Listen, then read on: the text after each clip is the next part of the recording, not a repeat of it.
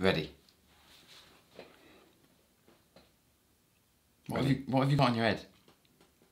Russian. It's Russian It episode. is Russian. Hello and welcome back to War Mysteries. I'm joined as always by Matt Hello. and I am Jay. So towards the end of World War One, a great change would sweep across imperialist Russia, uh, when Tsar Nicholas II and his immediate family were all executed uh, in Yekaterinburg by Bolshevik revolutionaries. At the collapse of House Romanov and the subsequent rise of the Bolshevik Republic would sweep away centuries of monarchy, eventually pressing the Soviet Union into power. At around the same time, a vast quantity of gold reserve was transported from its storage in the city of Petrograd and spirited away from the threat of encroaching German forces to the west. Some of the bullion was recovered, but a huge quantity disappeared and was never seen again. At the time, the Romanov gold reserve was the third largest in the world. What became of this gold has been the subject of over a century of investigation, leaving in its wake a trail across Russia, Siberia, and even into the Far East. This is the legacy of House Romanov.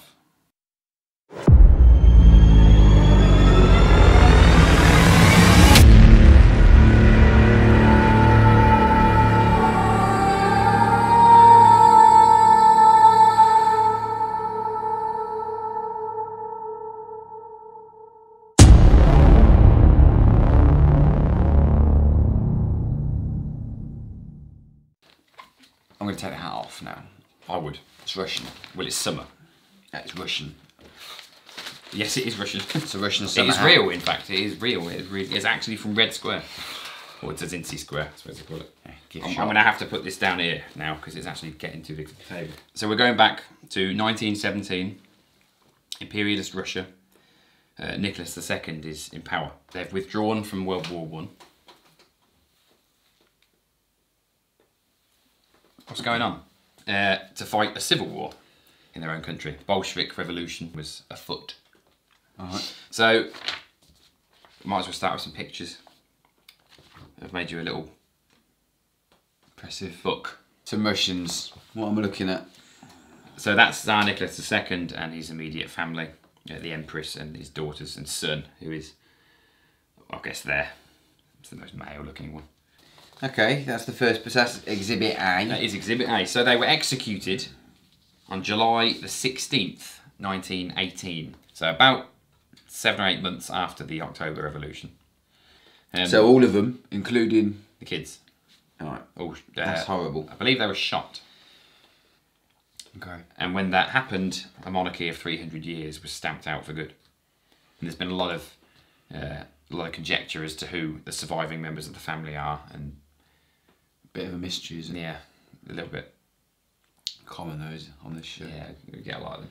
So, the Romanov legacy, the Romanov fortune, it's sometimes known as, was gold bullion, jewellery, you know, plunder. What was it you said back in series one? Brilliance. Brilliance. yeah, they're like gems. You, you must, uh, you've, I mean, you've had two years to read on it, so. Yeah, I haven't It's your known fault, that, as really. I've, I've yet to find anything on the subject apart from the Wikipedia page I know that you made. Okay. So 500 tons of gold and other stuff and brilliance Yeah, right. was transported out, essentially, of imperialist Russia and to the east. Get it as far away from the front lines as possible, um, into Siberia, as it would transpire. Right. So anyway, let's let's get in there. Let's get our teeth into the matter. Let's have a look at what was going on in and around the time.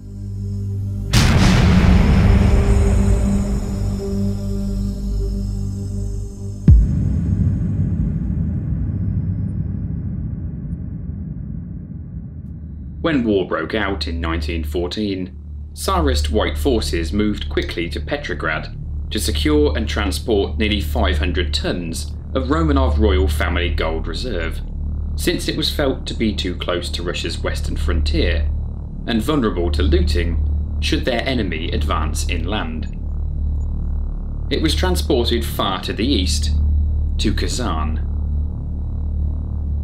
By the summer of 1918, Leon Trotsky's Bolshevik forces took Kazan after bitter fighting, but upon searching the central Kazan bank, the vaults were completely empty. The gold had been evacuated again. Hang on. What have you done? Lost your mic. I found that. Jones. Ah, lovely. Basically, so far, it's gone across, Si- well, towards Siberia, across and stopped in Kazan, gone to the bank.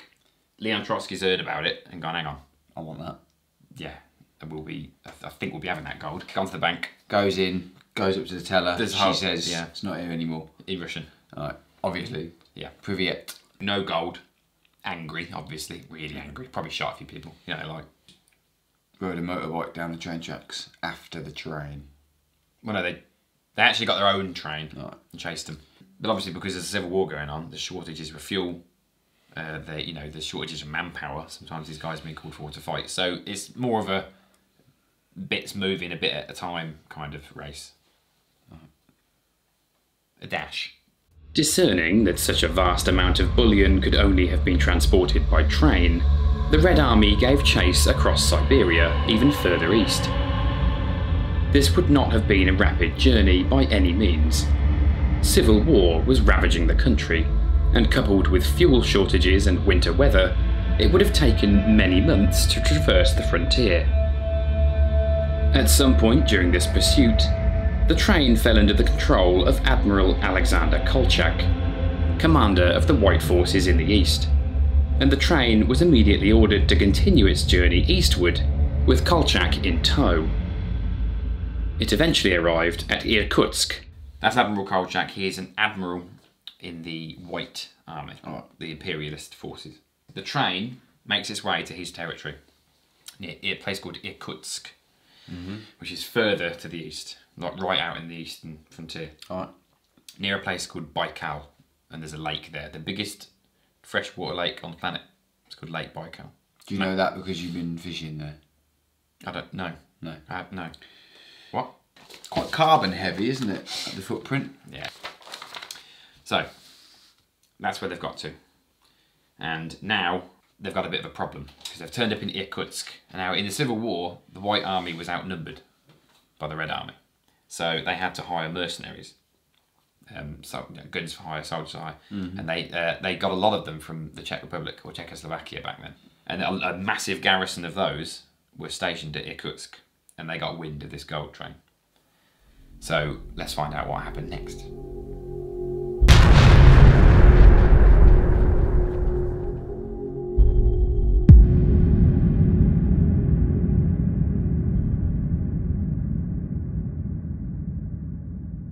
It was in Irkutsk that the first complication arose.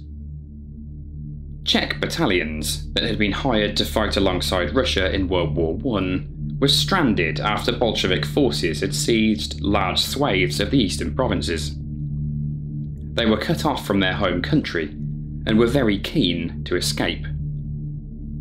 Upon the arrival of the gold train, word spread quickly, and the Czech forces saw an opportunity to buy their way out of the situation. Fair enough. Did they use the um, jewels that belonged to Romanov and his family? They saw this train coming in, word got around. It's pretty hard to miss a train with, you know, 500 tons of gold on it. They figured, right, well, we're stuck, we want to go home, had enough of this war, bollocks to Russia, let's get some of this gold. Let's get let's, let's sort ourselves out, pay the Bolsheviks off and piss off back home. That's what I mean. So they stole this.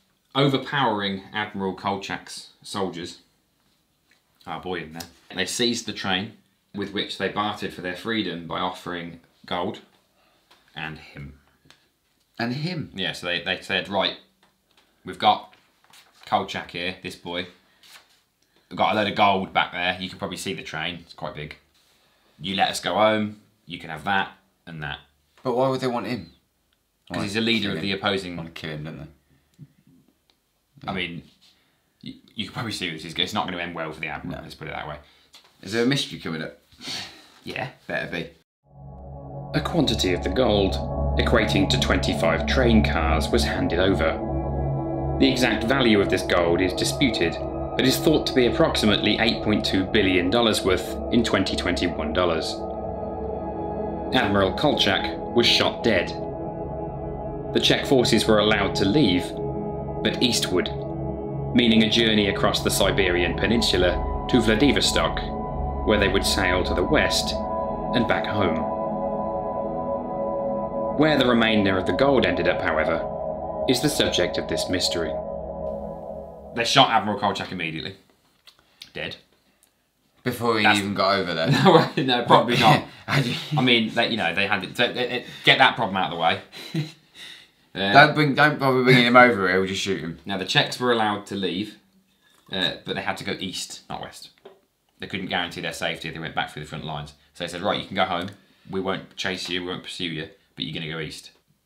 That means they've got to make a journey across the Siberian Peninsula all the way to Vladivostok. That a long way. Well, it's the far, far eastern frontier of Russia. It's near China. Long way. long, long way. It's on the coast of the Pacific. So they had to go all the way over to Vladivostok, get in a boat, and then sail back across down through the Pacific, underneath Japan, Korea, India. That's a long way, isn't it? It's a long bloody way. So the answer was yes. This left what has now been determined to be about 240 million rubles worth of gold missing. Is that some of it there? But that is the gold in the bank vaults. A lot of it. the last known photograph of the gold. In Was that taken on an iPhone? And we're having a break. Where this 240 million rubles have ended up is the subject of this mystery. Ah. so it's, it's not gone really to plan. They've shot this gold across Russia. It's got a bit sticky. The Bolsheviks have got wind of it. They've chased them. They've turned up. These uh, Czech boys are there. They've got wind of it. Not very well kept secret. Evidently. So they're thinking, all right, fine, fine. We'll, we'll, we'll give him all this gold. We can go home, kill him. Done. The Admiral. And the gold essentially gets split. 410 million rubles goes to the Bolsheviks. A lot of that has been recovered. You can see some of the crown jewels now in Russia in various Oh, museums. okay, so they got it back. They got some, of back, it back. Uh, but a chunk, nearly a third, went missing. Fair enough. And then and that's the subject of our mystery. And it is a mystery. Yeah. Anyway, there's four. You enjoying them? Hmm. I know it. I know that it isn't bacon, but my brain basically thinks it's bacon. So it is bacon, isn't it? Since we're, you know, not really on the subject of anything that people are here to watch, can you explain the Oscar, please? That's over there.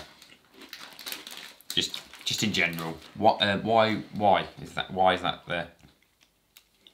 It's part of the set. Yeah, but there's not. You said there's no prevailing reason. Okay, moving on. So there's four prevailing theories, uh, which obviously we're gonna we're gonna get into. They kind of follow a little bit chronologically. But the first theory, which was probably the one that people will be thinking is the most obvious, is that the gold was stolen by the Czechoslovak Legion.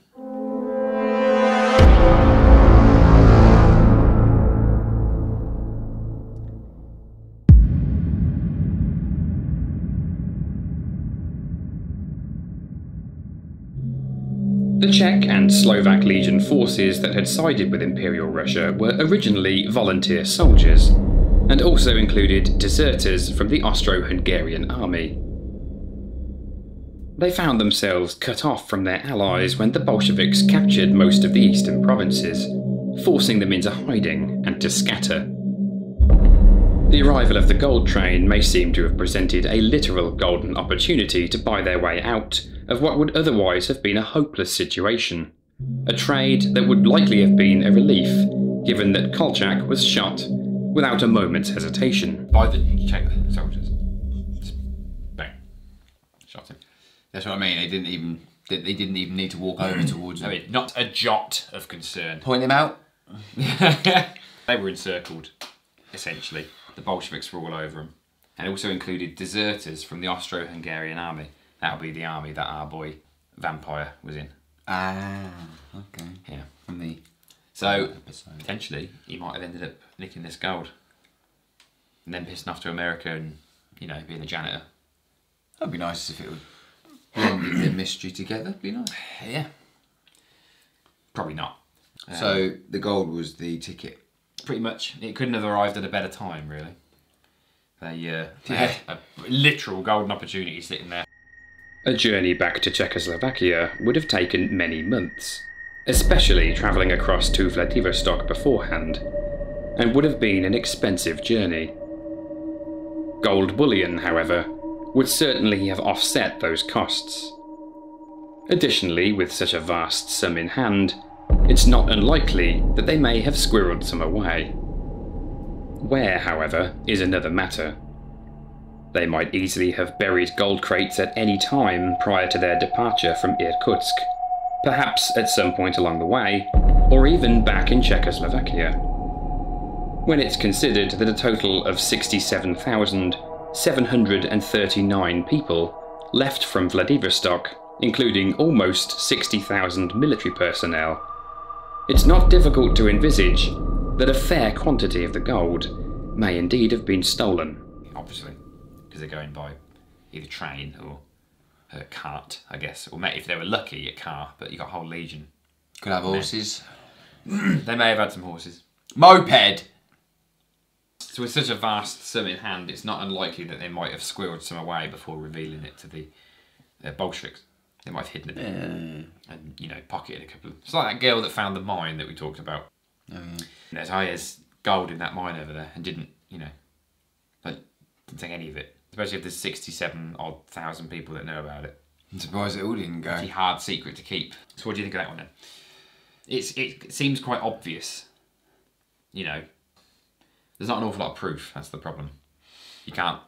There's no, you know, you can't say right. Well, it went back to Czechoslovakia and it was spent here, and they cashed it in here.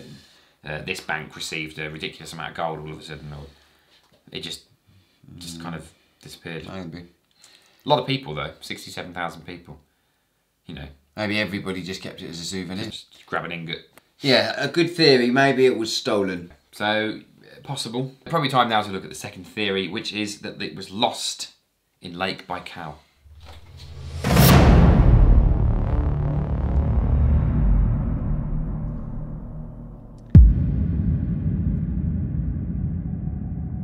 Lake Baikal, at over 5,340 foot deep, houses over 20% of the world's total surface fresh water. It is also larger than Belgium in total surface area. In the late 1910s, a railway line known as the Krugo-Baikal line passed by the lake close to Cape Polovinny, which is the focus of this theory.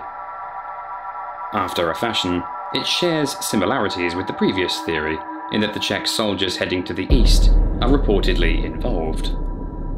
Eyewitness accounts from the local area mention a train carriage, or in some cases, carriages, that collapsed from the tracks into the lake, allegedly one of the many cars that were carrying the treasures further east.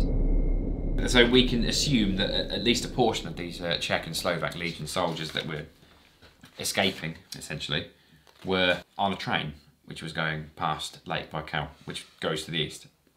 Right, yeah, that makes sense. So they may have had some on this train with them. So it's more of a folk, like a local folk story, really, like a kind of a local thing that's been passed down between families.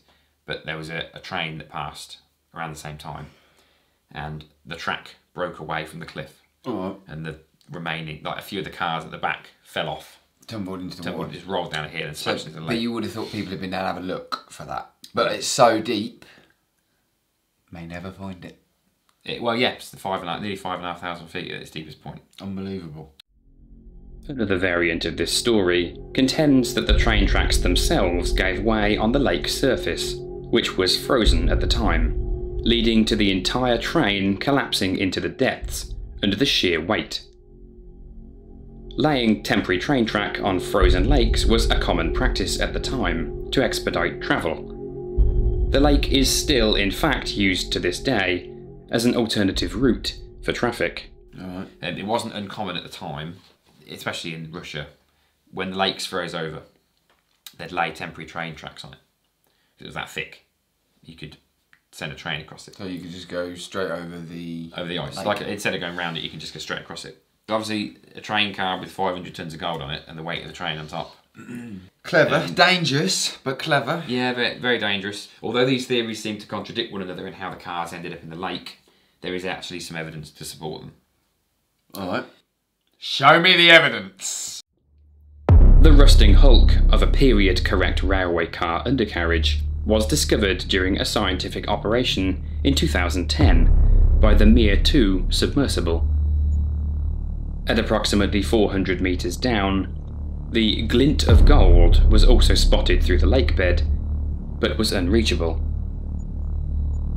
As of this year, 2021, nothing has been recovered from the lake. Or at least nothing has been reported. You know what Russia's like. So we could potentially. That's going to be a really difficult one location, actually. Yeah, we're not going to. There's a few different stories to support it. There's locals. There was a couple of newspaper um, articles that were written quite recently about this Mir submersible and what locals said happened. Okay. Um, Is there any video footage of? Yeah, there probably is somewhere. Some of the uh, researchers say that it was at 700 metres. Some say 400 metres. Seven hundred meters under the water. How far did Titanic go down? to the bottom of the Atlantic. What's that? Hundred meters. Two hundred. Try a couple of miles. Probably further. All right. So maybe the whole thing went in the water. Well, there is a li- yeah. I mean, you know what? Lo- local stories get twisted. Apparently, there was a diver who could stay underwater for five minutes. Did he have oxygen? Well, because then it's easy. He he must have done because you know nobody can hold their uh, breath for that long. Chuck Norris can hold his breath for five minutes. No, Chuck Norris gets into water and water holds its breath. Uh, so that's theory number two. A bit more evidence to support that one. I mean, you, you never really know whether people are telling the truth or not with this kind of stuff. There's people that say, "Oh, my, my great granddad was involved in trying to find They it." might have just wanted to be in the local gazette. Maybe, yeah. So let's move on to our next theory then. Theory number three uh, that it was hidden in the Kazan province.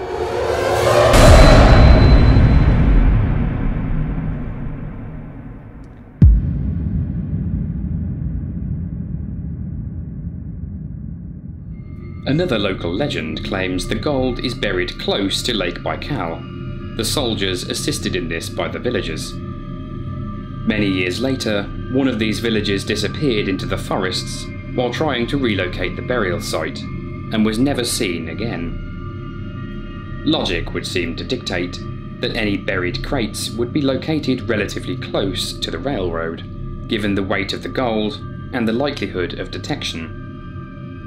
Troubling the issue further, it is likely to have been buried under the cover of darkness to conceal the theft. It is unlikely to be located without a dedicated and specific effort, but with scant evidence to support the theory beyond rumour and conjecture, and no forthcoming reliable sources, this is at best a remote possibility. Um, so he allegedly knew where it was, but when he went out to find it, he ended up not coming back. Dead. Maybe, could be dead. You never know. Ran off with it to Vegas. It's a whole train load of gold and stuff, isn't it? It's not like you're just going to yeet it out the side carriage. No. You know, You could yeet individual ingots of it into the lake. ingot yeeting. Well, yeah, but you could, but then you're never going to get it back. You never remember where it was. You, usually, people bury treasure. They kind of mark a tree or. We're not going to get it anyway 'cause it's 200 miles deep. So it's. so that's a bit weaker, a bit shakier. That one. There's, Yeah. Again, there's not. The, the problem with this is no one really knows where it is. Spoiler alert. So it's a bit of a, uh, you know, a bit Mystery. Of a, bit of a mystery. Yeah, they all are, aren't they? Happens a lot around here.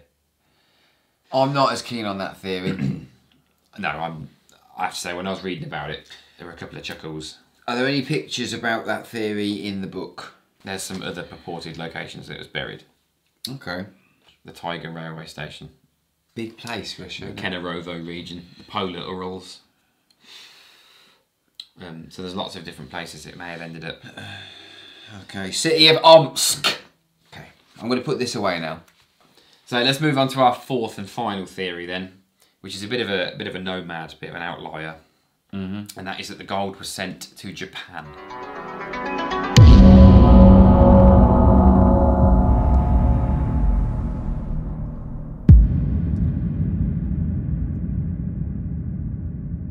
According to documents that were discovered in former Soviet archives in 1994, Kolchak had intended the Tsar gold, or at least a sum of it, to make its way to Japan for safekeeping. These documents allegedly refer to approximately 22 boxes of bullion. During the civil war in Russia, Japan sent military assistance to the White forces supporting the Crown against the Bolsheviks, which led to tensions and hostility throughout the Cold War. Of particular note, Japanese forces were in fact in the region of Trans Siberia and even close to Lake Baikal at the time the gold allegedly disappeared. Whether this had any bearing on the eventual destination of the gold is unclear, but certainly looks to support the theory. How much is in the box? I worked that out actually, and it took me a, a long time to do it. Right. Bless him! Jesus! Sorry, that was a lot. So in total, gold, jewellery, other stuff. You know, there's minerals. There's there's lots of wealth. One thousand six hundred tons of a lot. treasure. 40 train cars because there's 5,000 crates and 1,700 sacks. So that means if there's 40 train cars, there's 125 crates per car mm-hmm. and 42 to 43 sacks per car. 22 times 125. Right. A lot. Interestingly, this theory was somewhat reinforced in February of 2019 when a statement was made by the Russian foreign minister concerning the matter. She said, There was a question about gold in Japan. On the basis of available evidence, it has been repeatedly raised with Japan through diplomatic channels. Currently, it is not an issue of foreign policy between Japan and Russia, but if further evidence presents itself, it will be. This is this is actually quite interesting. I didn't know this. Russia and Japan never signed an official peace treaty to end their Second World War conflict. No. So, on paper at least, Russia and Japan are at war. And have been for 85 years. Alright. Obviously, obviously they're not, you know, they're not in compact with one another, but they never signed a peace treaty because they really didn't like each other. There's no evidence it was ever in any uh, Tokyo vaults. There's no evidence it ever made it there. Nobody's seen it there and blowing the whistle. No Alright. Lying.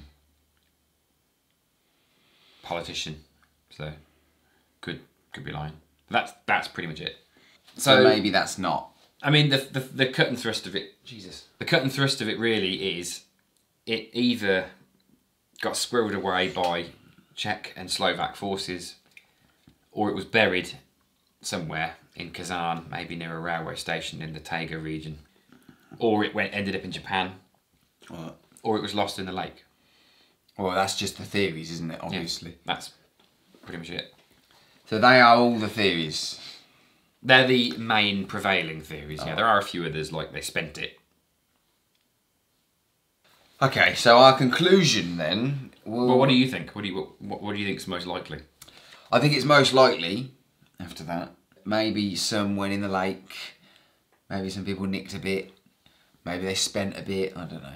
So let's. This is a list of treasures that were recovered by the KGB. Alright. So forget about the train for now because that, that vanished. Loads then. So that's a yeah. You can see what there is. And are you going to get that scrolling up the screen? Yeah, we can have it going up. Actually, that's not a bad idea. We'll do that. You want to start it off by pointing or No, just in the mid, just anywhere on the screen. You want it here? Yeah. Here. Somewhere. Any where. I mean, there's tons. That's a lot of stuff. I mean, there's so much. I feel like we should wait a few seconds for it to keep scrolling. Or are you gonna? We can just speed it up. All right. A little bit. Loads of stuff. There it gets done. Right. So our conclusion then is uh, uh, no idea. I think the conclusion then is a bit of a blend of everything. I think there's something to this lake theory. Um, people don't tend to make up the fact that trains roll off tracks. it's kind of a specific thing to say, really. I would, you know, if if someone if you saw two or three train cars fall off a track and go into a lake, you'd probably remember it. No, I wouldn't be on a frozen lake with a train to start with. You would if you were in Russia in 1918. Probably. Because obviously they sent the submersible down about a decade ago, and they found some. They found something. Um, the Russian government came out shortly after that and said, "Oh, we found a tunnel, by the way, with the train in it, and the gold's been recovered." No pictures. No pictures. Lying. So there you go. So a bit of a mixture then. So our conclusion then is undetermined.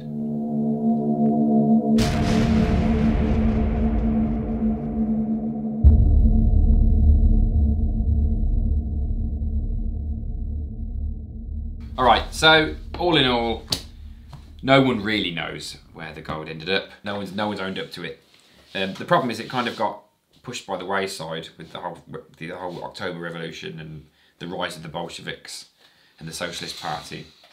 And over the last hundred years, people have gone to try and find it in various different places, various different rumours that they've heard, but Hasn't happened. not you know the bits and pieces have been recovered here and there, like the KGB in the thirties and um, a couple of expeditions that were made in like the seventies and the eighties recovered bits. So let's let's let's wrap it up. Let's see let's see where it all leads.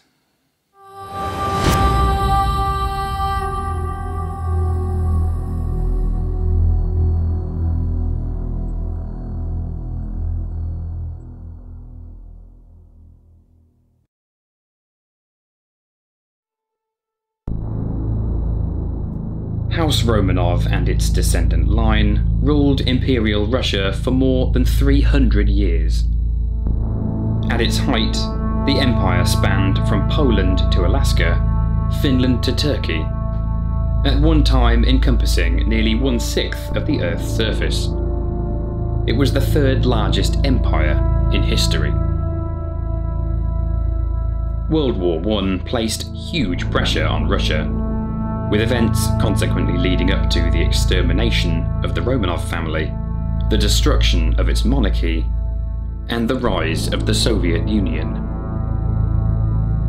The legacy of House Romanov, boiled down to just its physical remnants, is embodied in various jewellery, regalia, documentation, and of course, gold. Despite the usual myths that tend to encircle all great tales of lost treasures, much of the Romanov gold is in fact accounted for. Some was certainly used to finance the Civil War. More still was traded for lives by Czech battalions, sent back across Siberia to Kazan. Romanov era jewellery can even be seen in the Russian State Archive of Social and Political History recovered by the passage of time and the actions of keen political parties. But the legend lives on, be it in folk stories, cryptic archives, vague news reports, or rumours found in the pages of history books. In 2017, it was claimed that a large train carriage, loaded with Tsar era gold, was discovered near Lake Baikal evidently hidden in a cave system on one of the old temporary Trans Siberia lines. But this has never been verified. The First World War cost Imperial Russia over $22 billion between 1914 and 1917, a time at which the stabilising influence of vast gold reserves would be sorely missed. The uprising that followed shortly after the fall of House Romanov and the end of World War I set the stage for indiscriminate socialist terror for decades to follow, beginning with Lenin, continued by Hitler, Stalin, Mussolini, Pol Pot, and Chairman Mao. One and all the distant children of the savage October Revolution. As for what remains of the Romanov legacy, only time will tell.